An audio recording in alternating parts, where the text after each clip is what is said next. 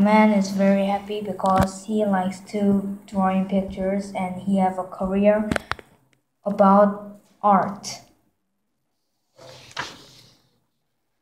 The man is very poor and the career about an artist they don't give many money. So when he are drawing a picture he is very upset.